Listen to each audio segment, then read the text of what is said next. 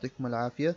اليوم إن شاء الله راح نكمل الجزء الثاني من chapter 3 في مادة ال anatomy ال skeletal system حكينا في ال part 1 آه، عن ال axial skeleton اللي هو عبارة عن ال skulls وال vertebral column حكينا عن ال skulls في ال part 1 راح نحكي اليوم عن ال vertebral column اللي هو العمود الفقري. Known as spine backbone or spinal canal. هو عبارة عن آه، مصطلحات بتأدي نفس الغرض. spine backbone spinal canal هي القناة الفقرية أو العمود الفقري أو الأساس. كل هاي بتأدي نفس الغرض ألا وهو أنه نحكي عن العمود الفقري. بالنسبة للعمود الفقري consist of 33 bones اللي هن vertebrae in childhood and become 26 in adulthood. بالنسبة للعمود الفقري راح يحتوي على 33 عظمة أو فقرة خلينا نختص بالكلمة ونحكي عنها إنه هي فقرة. آه، في مرحلة الطفولة لما يكون الإنسان طفل بتكون عبارة عن 33 فقرة. بعد هيك بصير في عندنا التحام لبعض لبعض الفقرات بيلتحموا مع بعض أربع خمس عظمات أو فقرات بيلتحموا مع بعض بشكل عظمه واحدة. فبالمجمل في مرحلة البلوغ بيكون في عندنا 26 فقرة. Divided into 5 regions. رح نقسم العمود الفقري إلى خمس مناطق. أول منطقة اللي هي السيرفيكال اللي هي آه، المنطقة الرقبية تحتوي على سبع فقرات.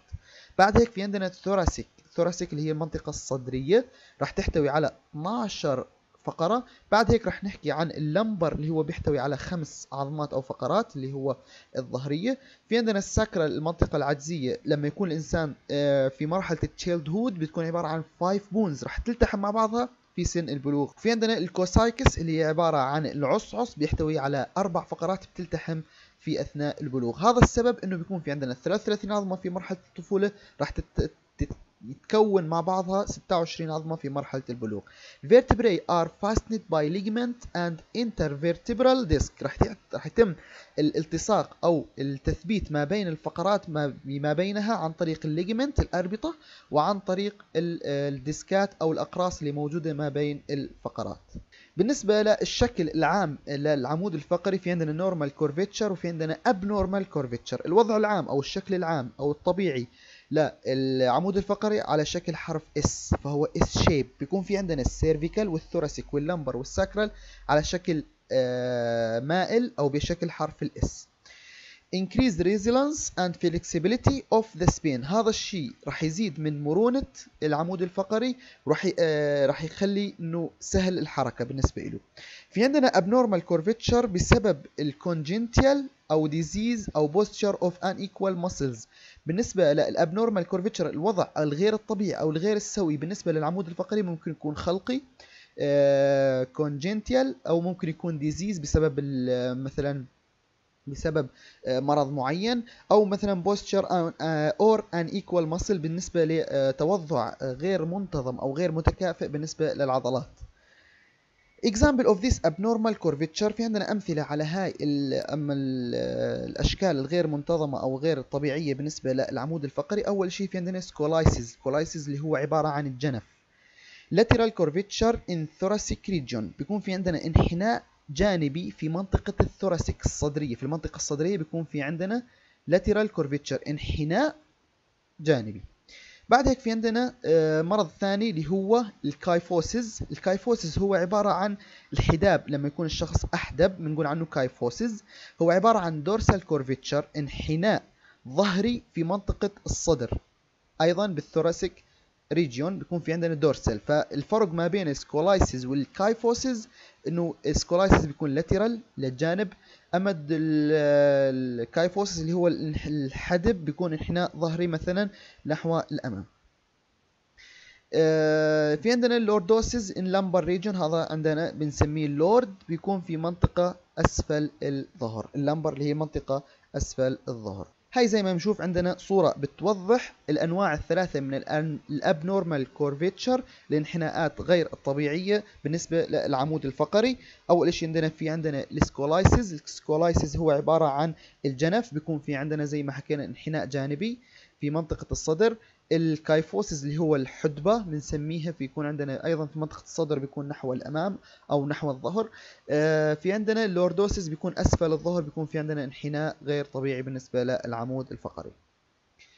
هاي بالنسبة للشكل الطبيعي للعمود الفقري بيكون على شكل حرف S زي ما حكينا وهي التقسيمات الأساسية اللي موجودة في عندنا للعمود الفقري. زي ما حكينا بالنسبة لل cervical هي عبارة عن سبع فقرات واحد اثنين ثلاثة أربعة خمسة ستة سبعة بيكونوا في منطقة الرقبة cervical بنسميهن منطقة الصدر تحتوي على 12 فقرة هي هن 12 فقرة.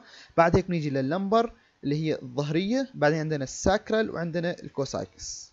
هي الشكل جانبي إلها وهي شكل أمامي بالنسبة للفقرات. زي ما بنشوف عندنا ال sacral وال coccyx هي عبارة عن عظمة عظمة ولكن هي بتكون أكثر من فقرة في مرحلة الطفولة هلا بدنا نشوف ال vertebrae الفقرة نفسها كيف بيكون شكلها ال characteristics of vertebrae بالنسبة لشكل الفقرة بشكل عام أو typical vertebra consist of centrum البادي في عندنا vertebral uh, vertebral arches في عندنا spinous and transverse process في عندنا vertebral foramen.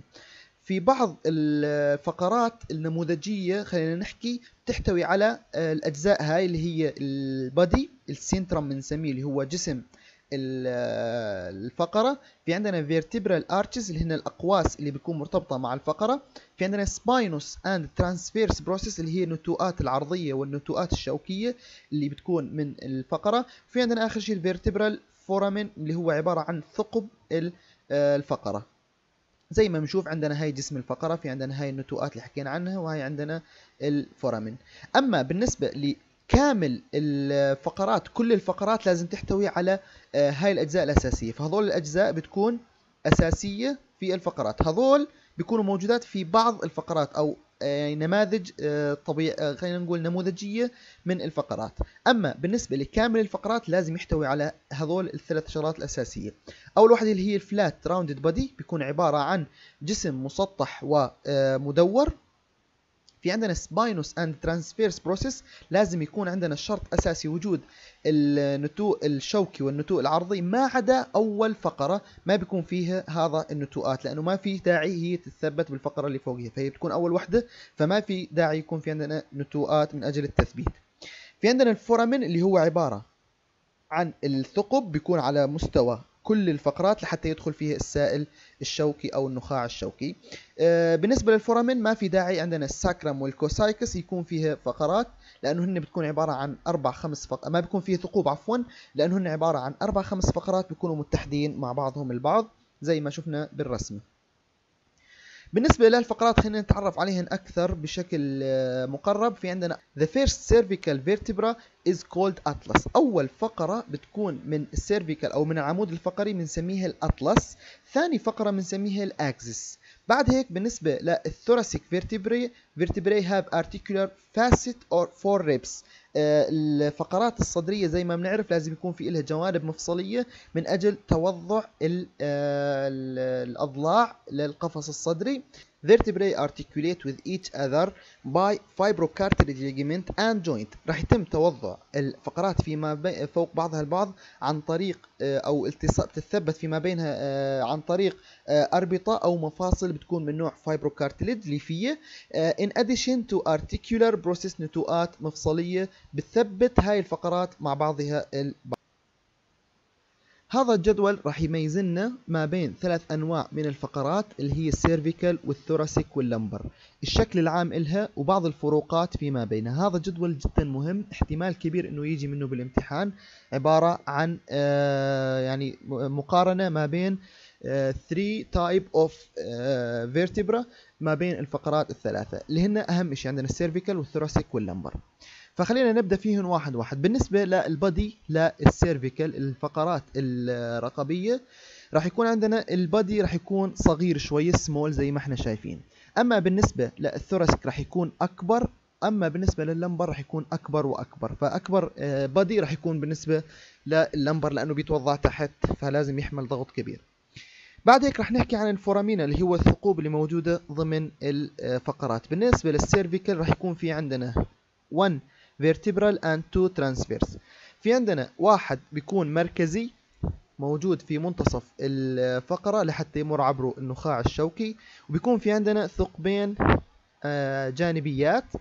أما بالنسبة لل thoracic بيكون في عندنا ثقب واحد أو وال lumbar أيضا بيكون عندنا ثقب واحد. بالنسبة لل spinous process اللي هو النتوء الشوكي آه، بالفقرة الرقبية بيكون slender and often bifid من C2 إلى C6 يعني من الفقرة الرقبية الثانية إلى الفقرة الرقبية السادسة. بتكون شكل النتوء الشوكي عبارة عن نتوء slender يعني نحيل و bifid يعني مشرم تشريم. آه بالنسبة لل thoracic الصدرية الفقرات الصدرية بيكون عندنا long and fairly thick بيكون طويلة وثخينة. most project inferiorly بتكون متجهة نحو الأمام.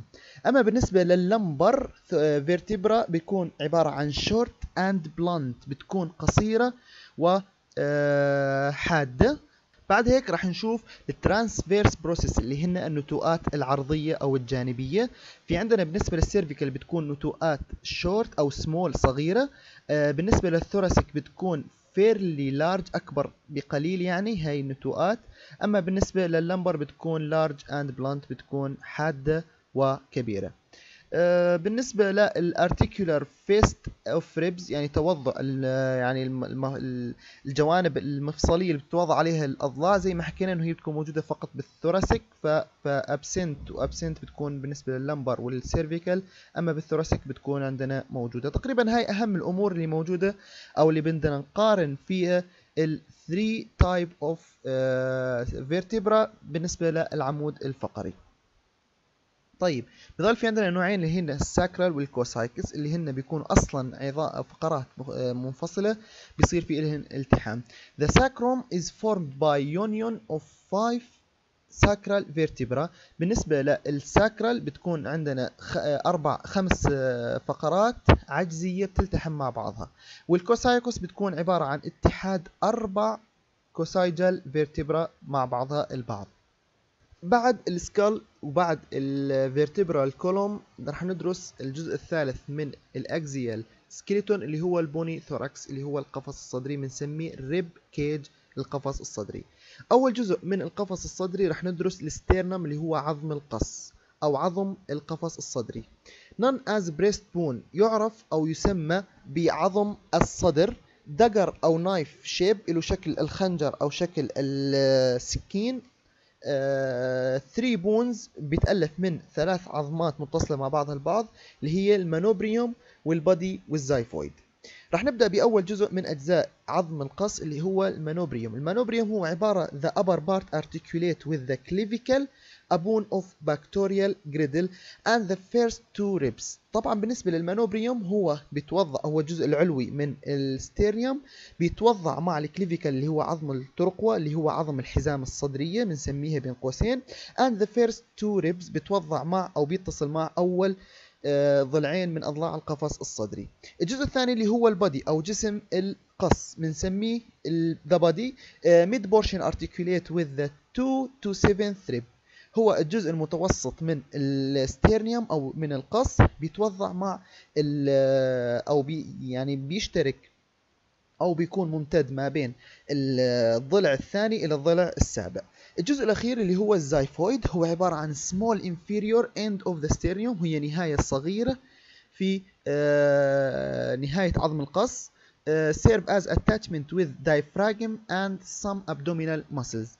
راح يأمن الاتصال المباشر ما بين uh, مع الدايفراجم uh, اللي هو الحجاب الحاجز وبعض عضلات البطن. طيب الجزء الثاني من القفص الصدري ألا وهو ال ribs. ال ribs هي عبارة عن الأضلاع. الأضلاع عبارة عن 12 pair of ribs with vertebral column and sternum shape the thoracic cavity. بالنسبة للأضلاع هي عبارة عن 12 زوج من الأضلاع متصلة مع العمود الفقري ومع ال sternum مع عظم القص لحتى تعطينا شكل التجويف الصدري. Each rib articulate with both the body and transverse process of its corresponding thoracic vertebra. بالنسبة للأضلاع للقفص الصدري بتكون متصلة مع ال body وال transverse process اللي موجودات على الفقرة اللي درسناهم قبل شوي بالنسبة للفقرات الصدرية فاتصال ال ribs راح يكون مع ال transverse process النتوء العرضي أو الجانبي ومع ال body بالنسبة للفقرة بالنسبة لترتيب الأضلاع ضمن القفص الصدري ribs 1 through 7 join a costal cartilage which, with, which attaches to it's the sternum بنسميهم ال true ribs. الأضلاع الحقيقية من الضلع الأول إلى الضلع السابعة بتكون منضمة مع بعضها البعض مع غضروف آه، ضلعي موجود بيربطها مع عظم ال sternum اللي هو عظم القص. هاي الأضلاع بنسميهن الأضلاع الحقيقية. فهي أضلاع متصلة مع بعضها البعض ومتصلة مع عظم القص. من الضلع الثامن إلى الضلع العاشرة بنسم هو بيكونوا مرتبطين مع بعضهم عن طريق آه، غضاريف cartilage of the true ribs and uh, indirectly attached to the sternum known as false ribs الأضلاع الكاذبة.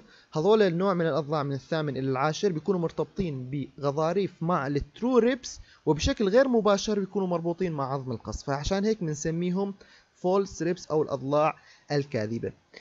فاللي بيضل عندنا ال 11 وال 12 الأضلاع ال 11 وال 12 بنسميهم floating ribs بيكونوا عبارة عن آه، اللي بنسميهم الأضلاع العائمة أو السائبة ما بيكونوا متصلين مع ال sternum.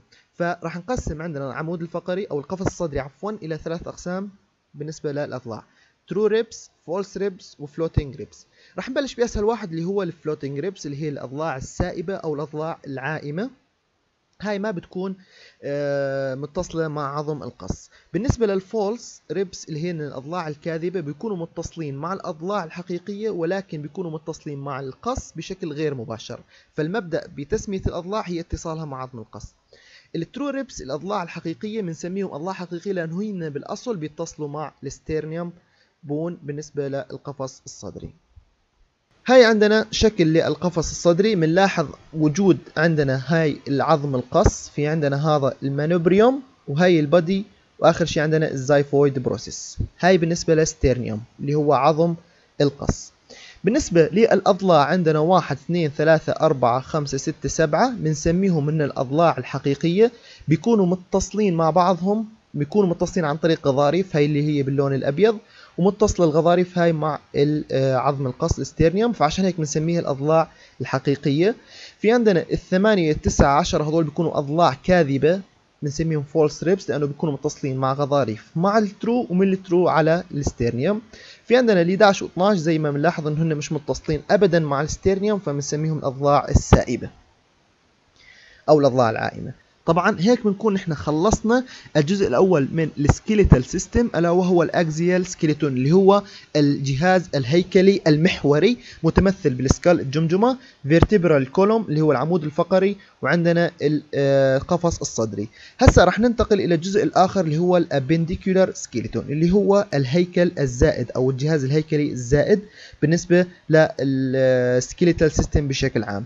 It's composed of راح يتكون عندنا ال appendicular skeleton من ال girdles اللي هن عبارة عن الأحزمة متمثلة بال pectoral وال pelvic girdles عبارة عن الأحزمة الصدرية والأحزمة الحوضية. في عندنا ال limbs اللي هن عبارة عن الأطراف upper limb and lower limb الطرف العلوي والطرف السفلي attached to these girdles respectively. راح يكون متصلين بشكل توالي مع هاي الأحزمة. فال upper limb راح يكون متصل مع ال pectoral وال lower limb راح يكون متصل مع ال pelvic. فهي عندنا ال skeleton بشكل عام عندنا هي ال skulls عندنا ال clavicle الترقوة عندنا ال scapula اللي هن عظم اللوح الصدري لوح الكتف. في عندنا معظم العظام اللي موجودة معنا خلينا نبلش بال pectoral girdle and upper limb اللي هن الحزام الصدري مع الطرف العلوي. بالنسبة لل pectoral girdle it consists of clavicle and scapula. راح يتكون من عظم الترقوة وعظم لوح الكتف. خلينا نبدأ بال clavicle بالنسبة لل clavicle هو عبارة عن slender doubly curved هو عبارة عن عظمة منحنية الجانبين وبتكون آه، نحيلة. It's attached to the sternum by sternal end and to the scapula by acromial end. اتصال ال clavicle مع ال sternum مع عظم القص راح يكون عن طريق نهاية بنسميها sternal end النهاية القصية زي ما بنحكي. آه، وبيكون اتصالها مع لوح الكتف ال scapula عن طريق ال acromial end. خلينا نشوفها. فزي ما بنشوف هاي عندنا الترقوة بتكون متصلة مع ال sternum مع عظم القص بهاي النهاية بنسميها sternal end. وبتكون متصلة مع لوح الكتف ال scapula عن طريق نهاية بنسميها acromial process أو acromial end. أما بالنسبة لل scapula it's a triangular flat bone. بالنسبة للشكل هي شكلها زي المثلث. flat مسطحة عظمة مسطحة مثلثة. فالفرق ما بين ال clavicle وال scapula اللي هن الشكل. بالنسبة لل clavicle هي بتكون منحنية الجانبين هاي بتكون مسطحة ال scapula ال clavicle بتكون slender بتكون منحنية. أما بالنسبة لل scapula بتكون عبارة عن triangular مثلث زي المثلث. It has border projection and process راح يحتوي عظم لوح الكتف على البوردر اللي هي الحدود بالنسبة للسكابيولا عندنا projection وعندنا process اللي هي النتوءات والمساقط اللي بتكون موجودة ضمن العظمة One of the borders form the glenoid cavity where the head of humor humerus bone fit in طبعا أحد الحدود اللي بتكون موجود فيها بتشكل تجويف بنسميه تجويف جلينويد هذا التجويف بيتناسب مع شكل الرأس آه، بالنسبة لعظمة العضد بالنسبة لل upper limb يعني توضع راس عظمة العضد بالنسبة لليد راح يكون موجود ضمن cavity بنسميه glenoid cavity بيحددوا مين؟ ال border تبع ال scapula. One of the projection is acromion which allow clavicle to attach أحد المساقط اللي بتكون موجودة على لوح الكتف زي ما شفنا عندنا نتوء صغير بالنسبة للوح الكتف. هاي هو. بنسميه acromion process أو نتوء acromion لحتى تتوضع عليه ال clavicle فهو شيء مشترك ما بين ال clavicle وما بين ال scapula لحتى نبدأ بال upper limb أو بعظمة العضد لحتى يتصلوا مع بعضهم. ف clavicle متصل مع scapula و scapula متصلة مع clavicle والاثنين بيكونوا متصلين مع ال humerus بال upper limb راح نبلش بال upper limb made up of arm وال forearm وال hand راح يتكون عندنا ال upper limb الطرف العلوي من ال arm اللي هي اليد ممثلة بالعضد وعندنا ال forearm اللي هي الساعد وعندنا ال hand اللي هي راحة اليد أو الكف. بالنسبة لل arm consist of consist a long bone عظم طويل بنسميه ال humerus which has a head articulate with the glenoid cavity at the proximal end. بالنسبة للنهاية القريبة من آه، عظم العضد راح يتوضع ضمن cavity بنسميه ال glenoid cavity glenoid cavity زي ما حكينا قبل شوي اللي بتشكله عندنا ال scapula آه، راح يتوضع رأس العضد ضمن هاي ال cavity بعد هيك في عندنا آه، نهايتين موجودة ضمن أو ضمن عظمة العضد بنسميها epicondyles and one trochlea at the distal end في النهاية البعيدة. إذا في عندنا نهايتين بالنسبة للعضد أو بالنسبة لل arm النهاية القريبة بتكون عبارة عن head آه، بيكون موجود ضمن ال glenoid cavity والنهاية البعيدة بتكون عندنا عبارة عن نتوئين أو انحنائين أو لويزتين بيسموهم بالعربي اللي هن ال epicondyles وال trochlea. Median epicondyle make the protrusion of the elbow at the anterior view. بالنسبة لل epicondyle ال median المتوسطة النتوء المتوسط لل epicondyle راح يعطينا آه، بيجعل بروز الكوع يبين من المظهر الأمامي. بالنسبة لل forearm ال forearm عفوا هو عبارة عن الساعد include two parallel bone radius and ulna. عبارة عن عظمتين متوازيات اللي هن ال radius وال ulna radius is found on the thumb side with a nail shaped end بالنسبة لل radius بتكون متصلة أو في ناحية اللي موجود فيها الإبهام فالناحية اللي بتكون متصلة مع الإبهام بنسميها الراديوس وبتكون إلها نهاية تشبه الظفر. أما بالنسبة للألنا فهو is found on the little finger side بيكون موجود من الناحية اللي بيكون فيها ال ال الإصبع الصغير. It's longer than radius and form the elbow joint with humerus. هي بتكون أطول من عظم الراديوس وبتشكل مفصل المرفق مع عظم العضد. يعني هي راح تشكل لنا المفصل ما بين المرفق وما بين عظم العضد. بنسميه olecranon process أو نتوء olecranon. بعد هيك رح ندرس ال hand اللي هي راحة اليد أو الكف. Hand is composed of wrist, palm and fingers. بتكون مكون اليد من ال wrist اللي هو عبارة عن الرسغ ال palm راحة اليد أو الكف ال fingers عبارة عن الأصابع. بالنسبة لل wrist بنسميه ال carpal consist of 8 bone bound closely and firmly by ligament بيكون عبارة عن ثمان عظام متصلين مع بعض البعض وبجانب بعضهم عن طريق أربطة. ال palm اللي هي ال metacarpal ما بعد ال carpal آه، اللي هي كف أو آه، راحة اليد consist of 5 bone. بتكون مكونة عبارة عن خمس عظام. ال fingers اللي هن ال phalanges each finger consists of 3 bone distal middle and proximal بعيد ومتوسط وقريب except the thumb 2 bone. ما عدا الإبهام بيكون مكون من عظمتين هاي زي ما بنشوف عندنا عندنا ال carpal أو ال wrist اللي هو الرسغ عبارة عن ثمان عظام بيكونوا متصلين مع بعضهم البعض. بعد هيك راح يكون عندنا راحة اليد اللي هي عبارة عن خمس عظام واحد اثنين ثلاثة أربعة خمسة اللي هن ال palm. وآخر شيء عندنا ال fingers عبارة عن 3 bone distal distal و middle و proximal ما عدا ال thumbs بيكون عبارة عن عظمتين فقط. هاي زي ما بنشوف عندنا الإبهام عظمة عظمتين. وزي ما اتفقنا ال radius بتكون من هاي الناحية من ناحية الإبهام. أما ال ulna بتكون من ناحية ال small finger اللي هو العض... الإصبع الصغير. هاي صورة توضيحية لل upper limb واتصالها مع ال scapula عندنا هاي ال arm أو العضد وفي عندنا هاي ال forearm الساعد واخر شيء عندنا ال hand. طبعا هيك إحنا نكون انتهينا من الحزام الصدري ومن الطرف العلوي. راح ننتقل إلى الجزء الثاني اللي هو ال pelvic girdle and lower limb راح ننتقل إلى الحزام الحوضي والطرف السفلي. Uh, بالنسبة للحزام الحوضي it's formed by pair of coxal bone unite with each other anteriorly by pubic symphysis and with sacrum posteriorly by sacroiliac joint بالنسبة للحزام الحوضي خلينا نشوفه بالصورة. من الأمام راح يتم عندنا التقاء. هاي عظمتين ال coxal. هو عبارة عن عظمتين من ال coxal بيتحدوا مع بعضهم البعض. من الأمام عن طريق ما يسمى بال pubic symphysis الارتفاق العاني. ومن الخلف بيتحدوا مع عظمة ال sacrum عن طريق مفاصل أو بنسميهم ال sacroiliac joint. فهذا كله راح يشكل لنا ما يسمى بالحزام الحوضي. بالنسبة لل coxal bone comprises 3 bone هو عبارة عن ثلاث عظمات اللي هي ال ilium وال ischium وال pubis.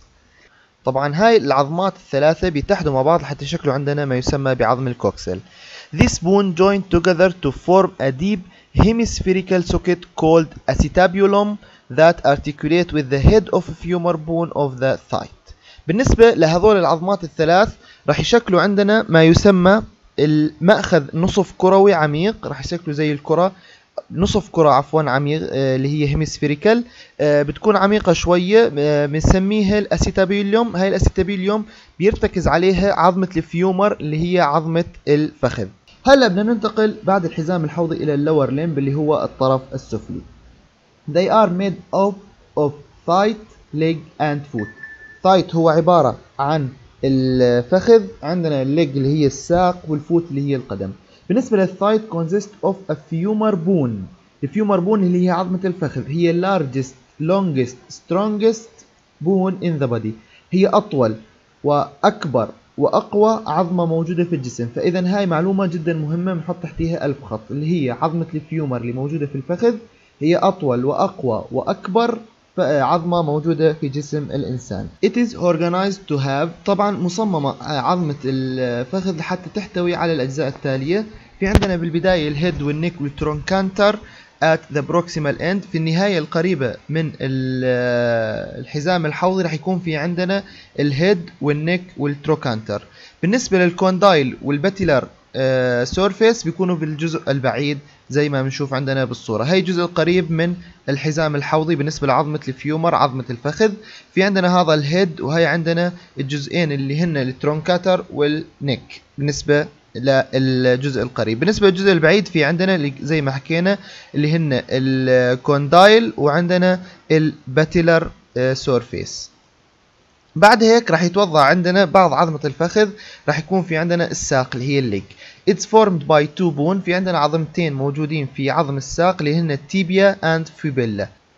Tibia is larger, stronger and superficially located of the two bone. بالنسبة لعظمة التيبيا هي بتكون الأكبر بالنسبة لعظمات الساق بتكون الأقوى وهي الجزء الواضح أو المتقدم من العظمتين يعني الجزء المحسوس مننا لما نحط إيدنا على الساق هذا بنسميه التيبيا بيكون هو يعني بيكون سطحي بتكون هاي العظمة سطحية It articulates with the femur to form the knee joint. However, the distal end form medial ankle bulge.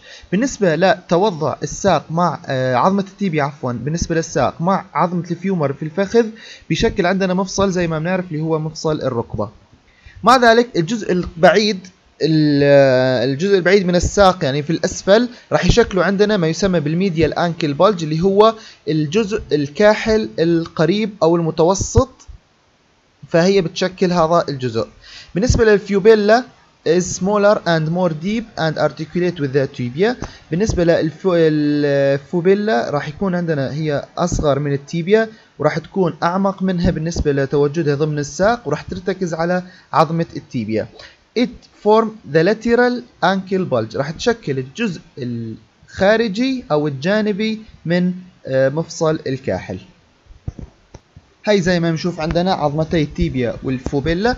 آه العظمة الكبيرة قلنا واللي هي بتكون بارزة أو سطحية أكثر اللي هي عظمة التيبيا راح تكون مشكلة عظم مع عظم الفيومر بالفخذ إلى مفصل الركبة. هم تكون موجودة عندنا مفصل الركبة. بالنسبة لمفصل الكاحل في الجزء البعيد عن الحزام الحوضي راح تشكل عندنا المفصل الكاحل ال tibia راح تشكل ال medial منه وال fibula اللي بتكون هي أعمق وأصغر بتشكل عندنا ما يسمى بال lateral ankle bulge. ال tibia وال fibula ترجمتهم بالعربي يعني مش كثير مطالبين نحن بالاسم هن ولكن يسموا بالشظية والظنبوب. هذول العظمتين الموجودات بالنسبة لعظم الساق. في عندنا ال patella اللي هي زي ما حكينا عنها في نهاية عظم ال femur. في عندنا ما يسمى بال patella surface. باتيلا is a triangle sesamoid point guard the knee joint and improve the raising up of thigh muscle.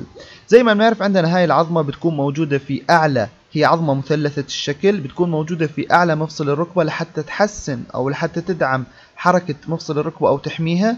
وفي عندنا هي أيضا من أحد الخصائص اللي بنستفيد منها لهاي العظمة أنه هي بتساعد في رفع عضلات الفخذ لأنه عندنا بتكون عضلات شوي كبيرة أو صعبة. فمحتاجها نحن بالحركة من أجل ال knee joint مفصل الركبة ومن أجل عضلات الفخذ.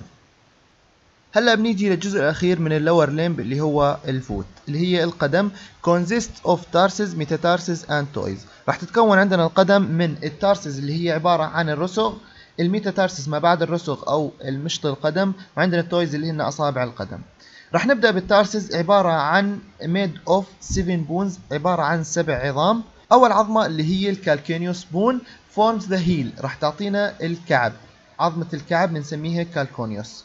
And carry the talus on its superior surface. في عندنا عظمة أخرى بتحت يعني بتحملها عظمة ال calcaneus اللي هي ال talus على الجزء العلوي من عظمة ال talus راح تتوضع عندنا ال calcaneus. في عندنا أربطة تسمى أربطة أخيل أو Achilles tendon join the calf muscle with calcaneus bone. ارتباط عظمة ال calcaneus في ال tarsus مع عضلات الساق راح يتم عن طريق أربطة بنسميها أربطة Achilles. ال metatarsus includes 5 bones ال metatarsal أو مشط القدم عبارة عن خمس عظمات. أما بالنسبة لل toes اللي هن ال phalanges each involve 3 bone except the great toe to 2 bone.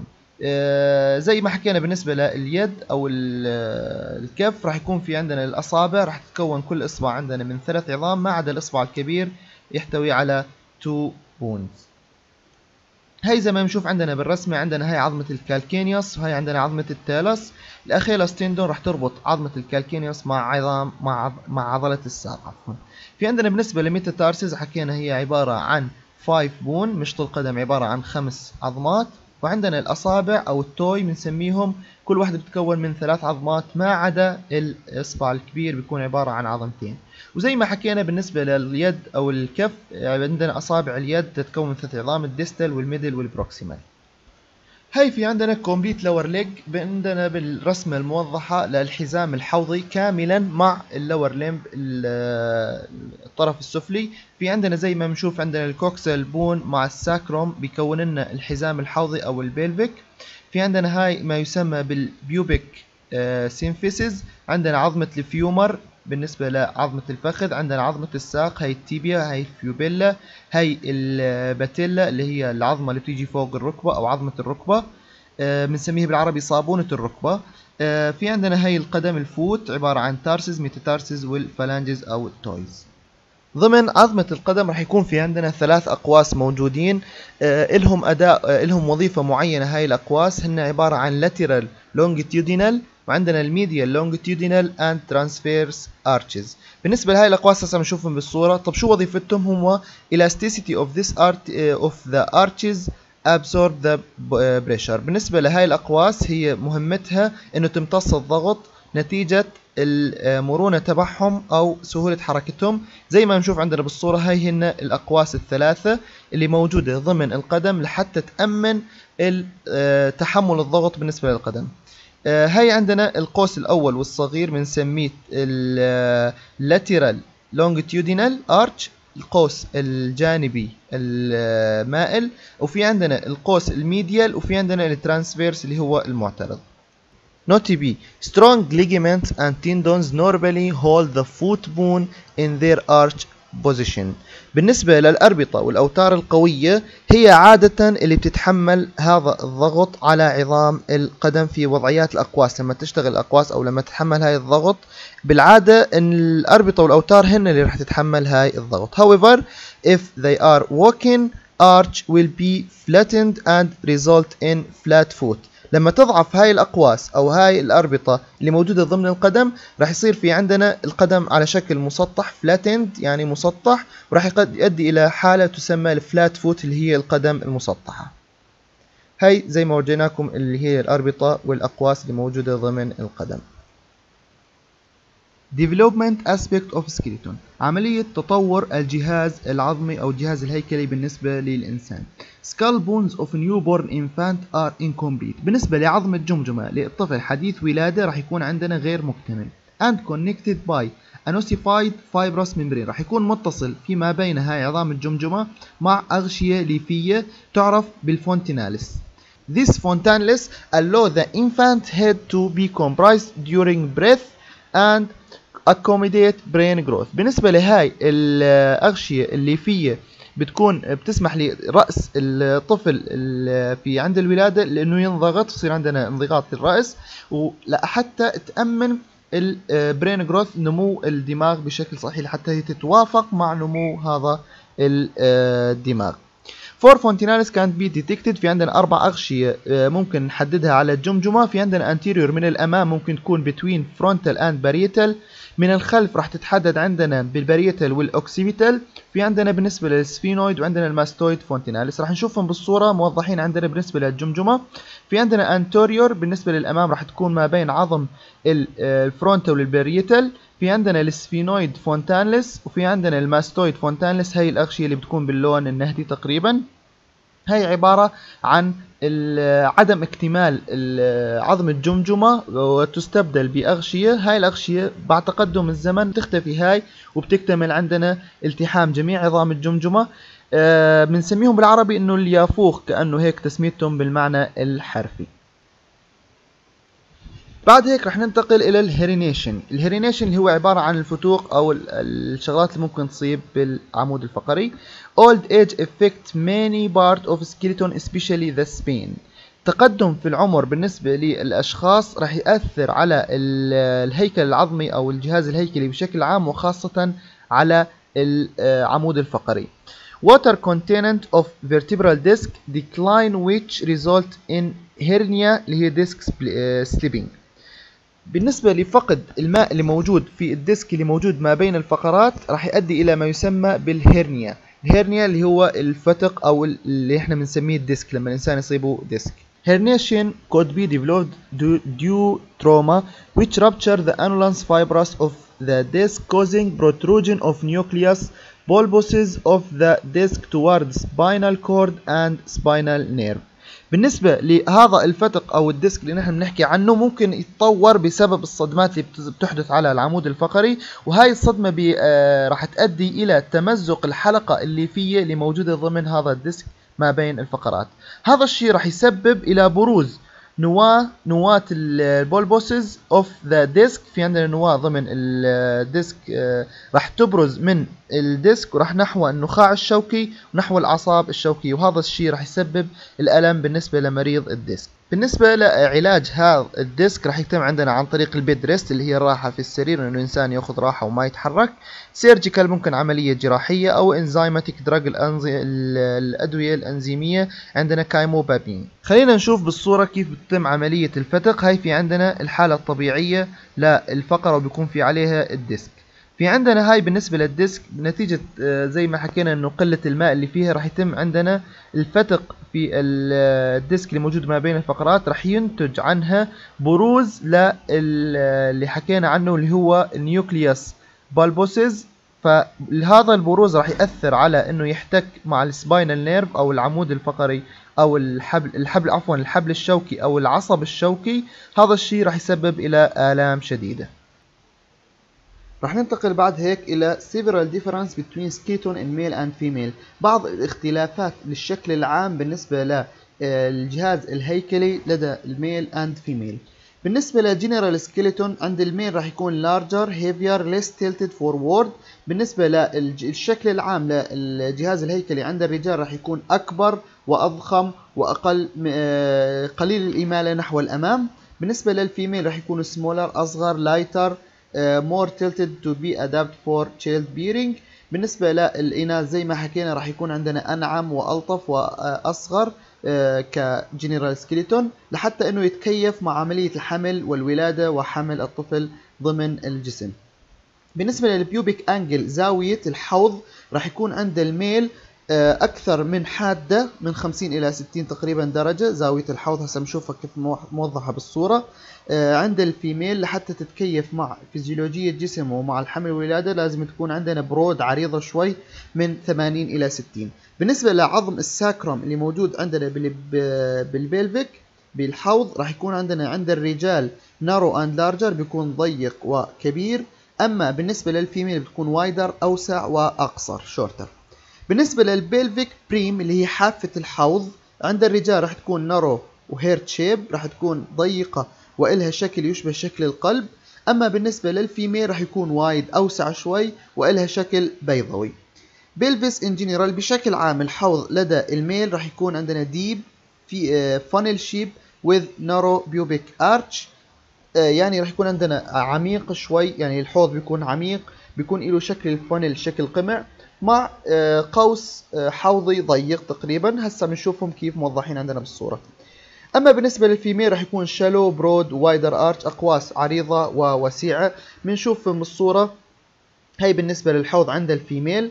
آه، بالنسبة لل brim الحافة زي ما حكينا والزوايا راح تكون عندنا عريضة. بنشوف إحنا عندنا زاوية تقريبا زاوية قائمة تيجي. أما بالنسبة لل male بتكون زاوية حادة وبيكون عندنا الحدود تقريبا صغيرة وليست كبيرة. حدود ضيقة. هذا الحد بالنسبة لل pelvic brim آه، حاد شوية أما هون بيكون عندنا أوسع بالنسبة لل female. أما بالنسبة لل sacrum وال coccyx زي ما حكينا عندنا بالنسبة لل female بيكون ال sacrum عبارة عن قصير وعريض. أما بالنسبة لل male بيكون عندنا آه، طويل ولكنه بيكون ضيق. بالنسبة ل زي ما بنشوف عندنا المساحة أو ال posterior view إذا أخذنا posterior view للحوض بنلاحظ اختلاف كبير ما بين حوض ال female عن حوض ال male بنلاحظ هون بيكون عندنا أوسع. طبعا هاي الصورة بتبين لنا بعض التغيرات اللي ممكن تحدث على الإنسان في أعمار مختلفة بالنسبة للجمجمة زي ما حكينا بيكون في عندنا فراغات غير ملتحمة بتلتحم بعد سن البلوغ.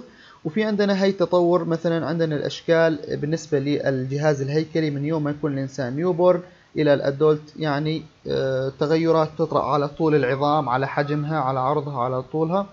إلى آخره هيك بكون إن شاء الله ختمنا الجزء الثاني من شابتر السكيلتون